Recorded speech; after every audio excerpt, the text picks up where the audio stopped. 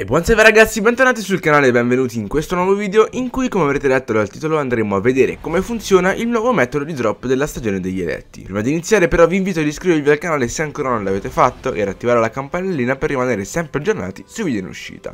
Detto questo iniziamo. Trovandoci per la prima volta nell'Elm, la nuova zona operativa da cui possiamo accedere al convertitore prismatico e al tavolo da guerra, la nuova meccanica dei drop non ci è sembrata chiarissima. In questo video quindi vogliamo fare un resoconto generale per spiegarvi come ottenere ottenere un drop specifico utilizzando il martello da guerra e gli engrammi ombrosi. Iniziamo quindi col dire che per poter entrare in questa meccanica dovrete aver completato le due questline iniziali che vi faranno ottenere il martello da guerra e la lente prismatica. Saranno proprio questi due oggetti il fulcro della scelta del drop. Tutto parte dal martello della prova, che per chi se lo ricorda funziona molto similmente al calice della stagione dell'opulenza.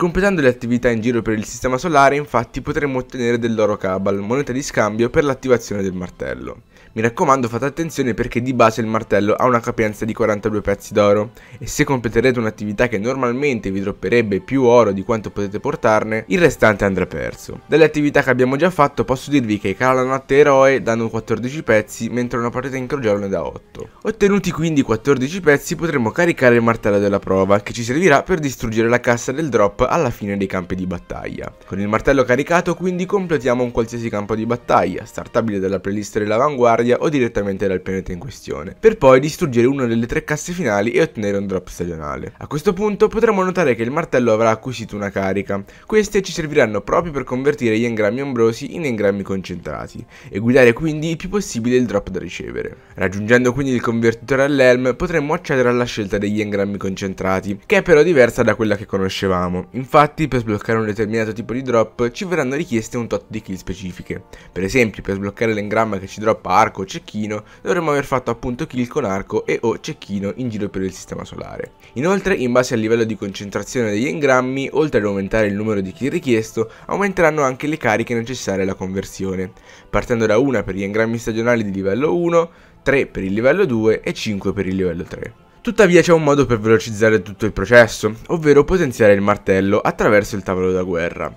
Qui infatti potremo accedere a tutti i miglioramenti per il martello, in maniera molto simile a quelli del vecchio convertitore prismatico, solo con qualche differenza. Innanzitutto i miglioramenti del martello dovranno essere fatti in un ordine ben preciso e non potremo più scegliere quale sbloccare prima. Inoltre questi saranno attuabili solo ogni volta che saliremo di grado al tavolo di guerra. Ma come fare?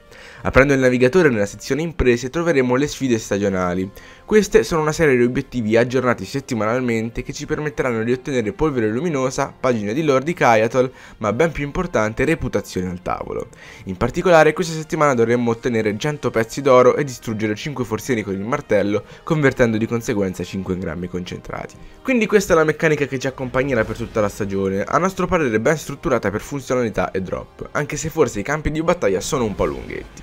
Detto questo ragazzi io spero che il video sia stato utile, sappiate che se avete qualsiasi dubbio potete tranquillamente chiedere nei commenti, inoltre vi ricordo di iscrivervi al canale se ancora non l'avete fatto ed attivare la campanellina per rimanere sempre aggiornati sui video in uscita. Detto questo noi ci vediamo alla prossima, ciao!